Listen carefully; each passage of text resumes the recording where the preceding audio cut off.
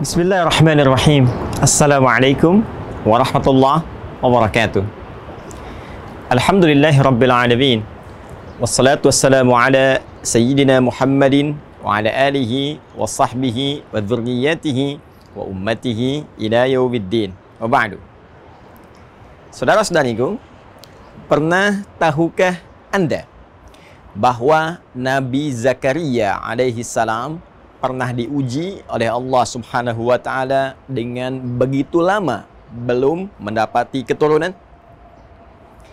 Pernah tahukah Anda bahwa istri Nabi Zakaria alaihi salam bahkan divonis secara medis dan tinjauan klinis bahwa beliau tidak akan mungkin mendapati keturunan selain sudah monopos pada saat itu pun demikian secara medis beliau divonis mandul. Pernah tahukah Anda bahwa Allah Subhanahu wa taala kemudian menggugurkan perkiraan-perkiraan medis dan tinjauan klinis yang dimaksudkan dengan menganugerahi Nabi Zakaria alaihissalam seorang anak yang kelak diberi nama bahkan oleh Allah langsung dengan Yahya dan menjadikan istri beliau yang menurut klinis tadi tidak mungkin mendapati keturunan namun diberikan dengan izin Allah Subhanahu wa taala kemampuan untuk mengandung. Pernah tahukah Anda bahwa kisah Nabi Zakaria ini dibuka oleh Allah Subhanahu wa taala sebagai pelajaran bagi setiap insan beriman sampai di masa depan yang mengalami peristiwa serupa agar melakukan satu amalan yang dikerjakan oleh Nabi Zakaria alaihi salam. Edisi saat ini, pernah tahukah Anda pertanda akan menggali rahasia di balik kedalaman amalan Nabi Zakaria untuk mendapatkan keturunan sebagai anugerah dari Allah Subhanahu wa taala. Saudara-saudariku, Allah Subhanahu wa taala mengawali firman-Nya untuk bisa memberikan anugerah terindah kepada Nabi Zakaria tadi dengan kalimat yang sangat luar biasa sebagai pelajaran untuk kita semua. Quran surah ke-19 ayat yang kedua. Zikru rahmati rabbika abdahu Zakaria. Kata Allah, di surah ini, surah Maryam, di pembuka ini, aku akan sampaikan, aku akan ingatkan. Ingat, zikir itu adalah segala hal yang mampu mengingatkan kita kepada Allah Subhanahu wa taala. Yang mampu mendekatkan kita kepada Allah Subhanahu wa taala. Seakan Allah memberi pesan dengan informasi yang aku sampaikan ini harus membuat kalian lebih dekat denganku kata Allah.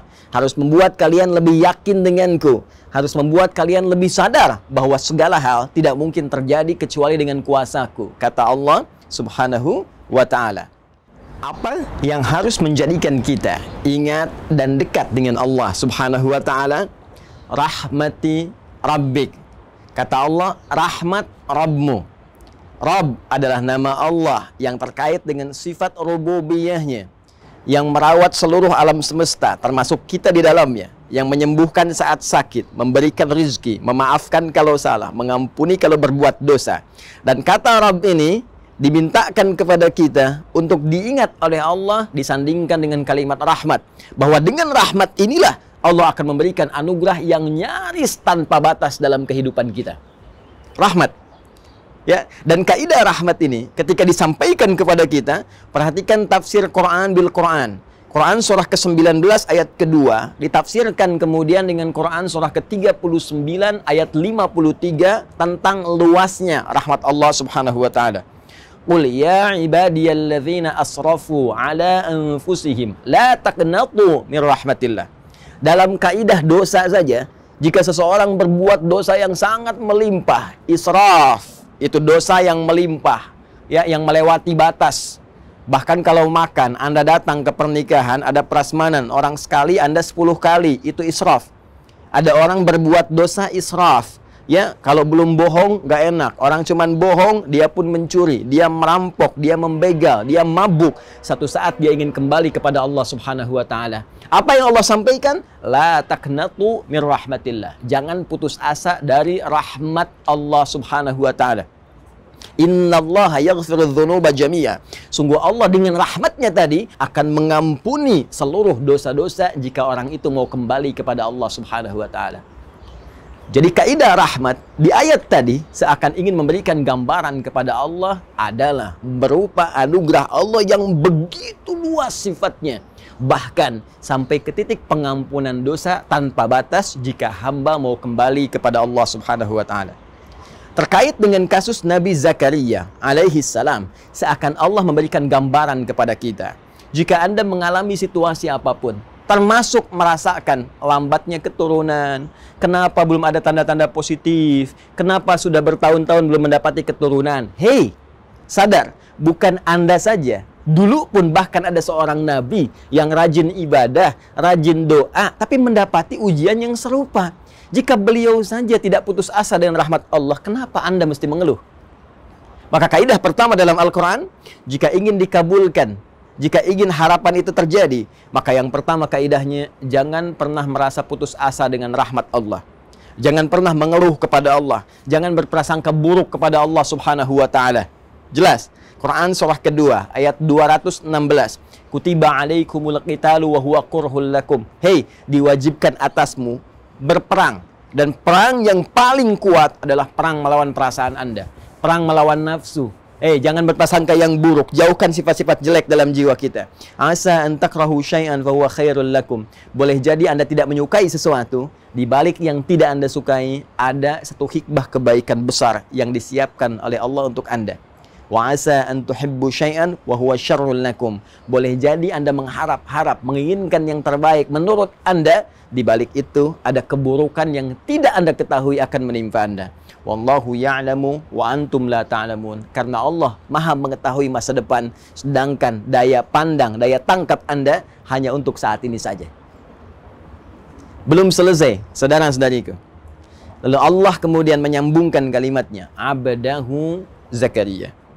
Bisa saja Allah langsung berfirman Zakaria. Tapi ketika disambungkan dengan kalimat abdun, abdun itu adalah gelar tertinggi yang diberikan oleh Allah pada setiap insan beriman, makhluknya yang bernama manusia yang mau mendekatkan diri kepada Allah Subhanahu wa taala dengan puncak ibadah. Puncak ibadah. Perhatikan, Nabi Muhammad sallallahu alaihi wasallam ketika diundang oleh Allah dalam peristiwa Isra Mi'raj itu yang disebutkan bukan gelar kenabiannya, ya ayuhan nabi, yang disebutkan bukan gelar prestisius kerasulannya, ya ayyuhar rasul, tapi yang disebutkan kalimat abdunnya. Subhanalladzi asra bi abdihi laila minal masjidil haram ilal masjidil aqsa alladzi barakna haula. Quran surah ke-17 ayat yang pertama. Abdun menunjuk pada sifat ubudiyah. Abdun menunjuk pada sifat penghambaan. Karena itu jika Anda ingin mendapatkan rahmat Allah tadi yang tanpa batas, maka tingkatkan ibadah Anda kepada Allah Subhanahu wa taala.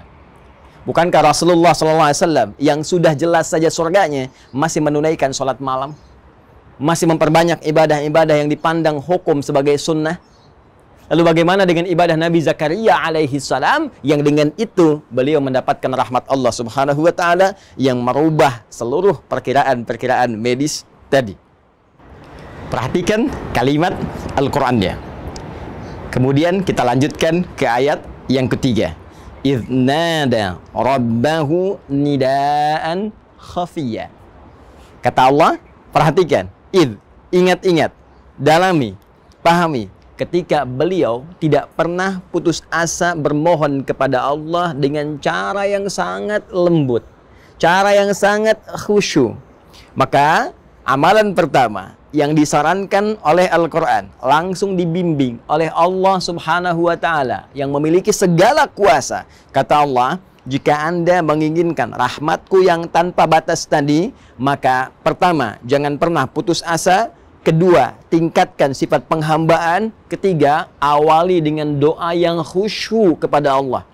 Bukan doa biasa.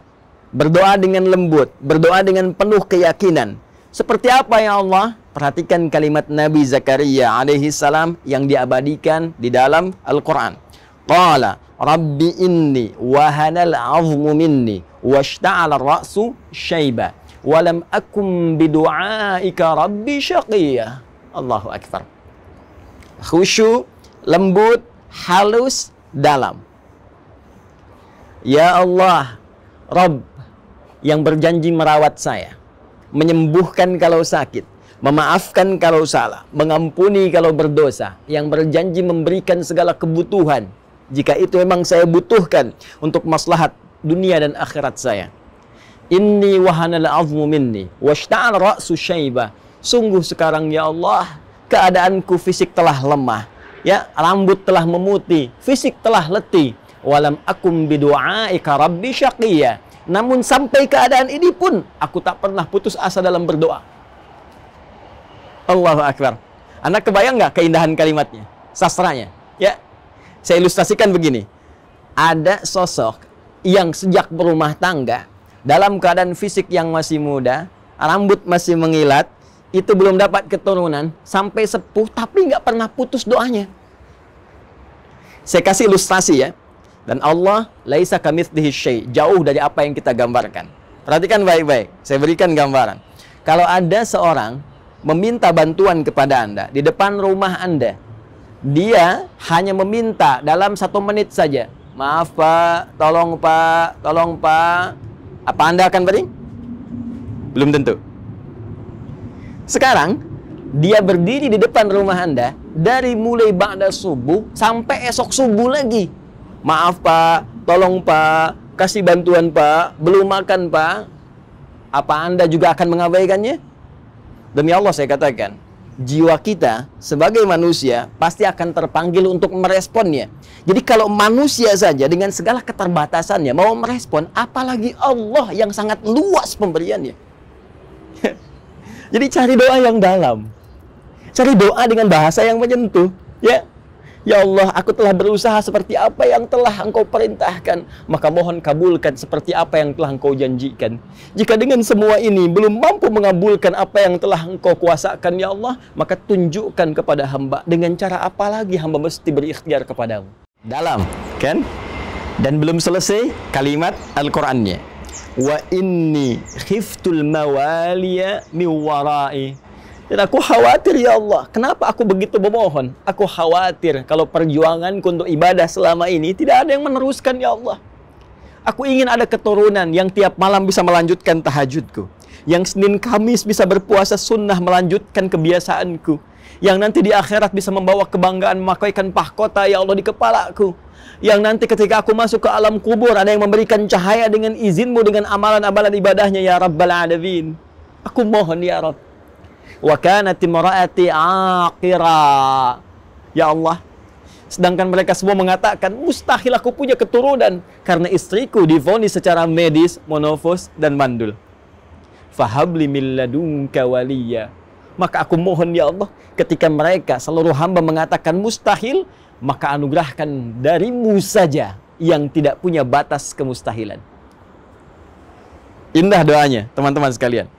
Di sini Allah ingin mengajarkan kepada kita bahwa yang pertama, selain kita mencari redaksi doa yang indah, yang lembut, yang menampilkan sifat-sifat rasionalitas kebutuhan kita, pun demikian Allah mengajarkan kepada kita bahwa jika menghadapi situasi di mana setiap hamba berkata ini tidak mungkin terjadi, ini mustahil bisa hadir, ini rasanya tidak akan pernah bisa terjadi, maka pada saat itu Allah ajarkan pada kita tinggalkan seluruh pendapat manusia kembali kepada Rabbul Alamin kepada Sang Pencipta kita karena pada saat itu Allah ingin memberikan anugerah yang melampaui batas-batas kemanusiaan. Saking pentingnya anugerah ini, Allah ingin berikan sendiri tanpa campur tangan manusia.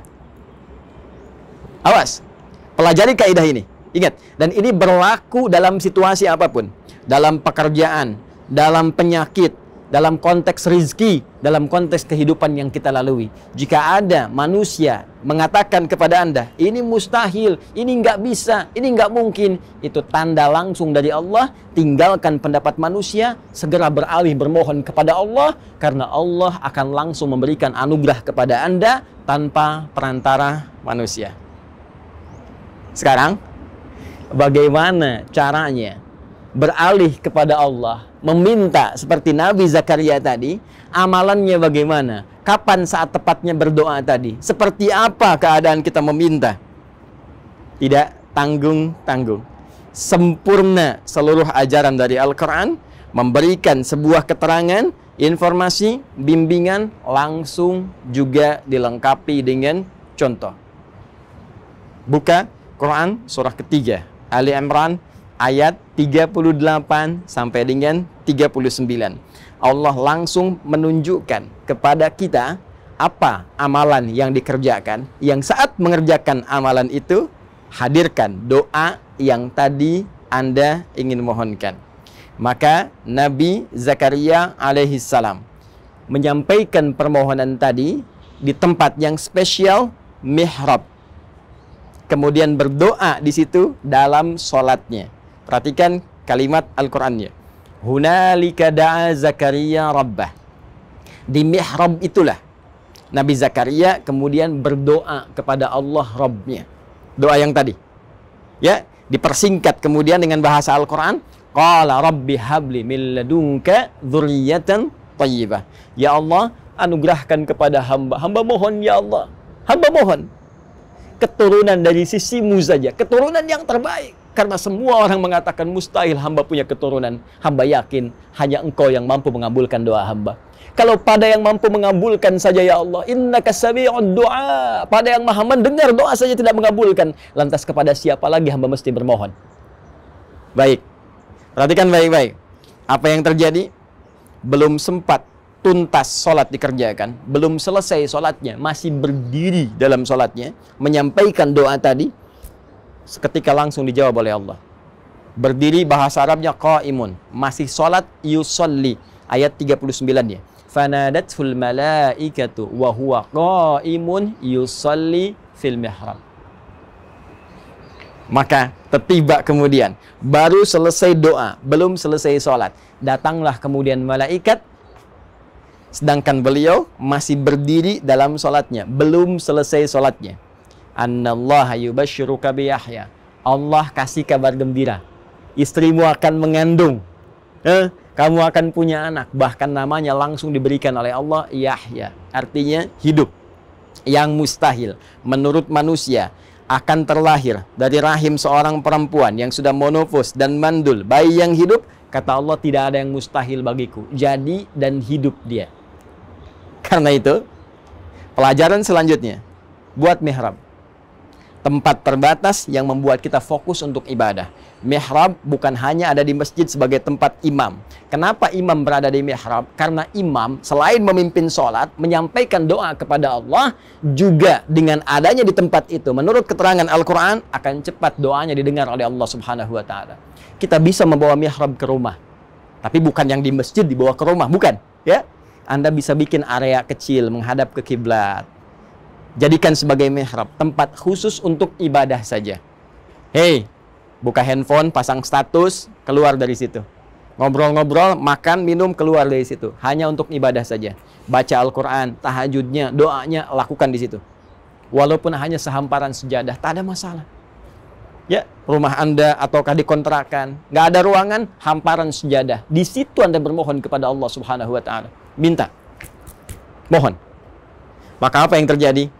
Boleh jadi apa yang telah Allah anugerahkan kepada Nabi Zakaria di masa lalu akan diberikan kepada Anda sebagai pembuktian kekuasaan Allah yang melampaui batas-batas bayangan manusia. Dan seluruh paparan tadi kemudian disajikan oleh Al-Quran dengan sajian yang padat di satu ayat Quran surah ke-21 Al-Anbiya kisah para nabi ayat 90. Fastajabna lahu wa wahabna lahu Yahya wa aslahna lahu zauja. Kata Allah, ketika amalan tadi sempurna dikerjakan oleh Nabi Zakaria alaihissalam, kami cepat jawab doanya. Kami anugerahkan Yahya untuknya dan kami sembuhkan istrinya. Perhatikan kalimat Qurannya. Kami sembuhkan, perbaiki keadaan istrinya. Yang kata medis mustahil, kata Allah tak ada yang mustahil bagiku. Sembuh. Innahum kanu yusari'una fil khairat wa yad'unana raghaba wa rahaba wa kanu lana khashi'in. Lalu ditutup dengan sangat indah mengingatkan lagi amalan Nabi Zakaria tadi. Apa kata Allah? Kesimpulannya, kalau Anda ingin mendapatkan rahmat yang luas tadi, maka innahum kanu yusari'una fil khairat. Kebiasaan mereka itu cepat merespon segala kebaikan. Maka mulai sekarang siapkan agenda-agenda kebaikan. Cepat, jangan tunda. Setelah dengar ceramah ini, siapkan saya malam akan tahajud insya Allah. Saya akan baca Al-Quran. Saya akan berinfak bersedekah. Lalu di sela-sela amalan tadi, sisipkan doa Anda sesuai kebutuhan yang Anda harapkan.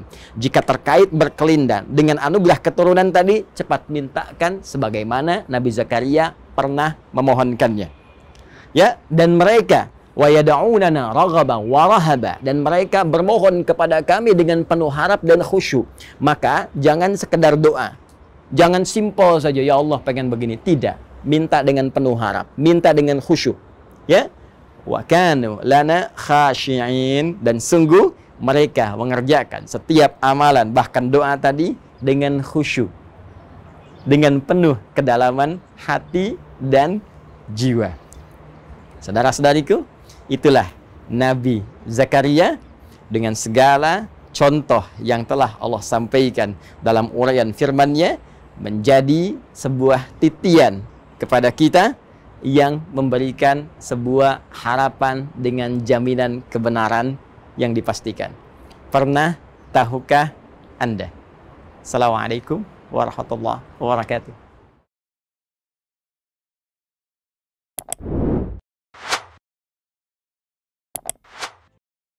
Música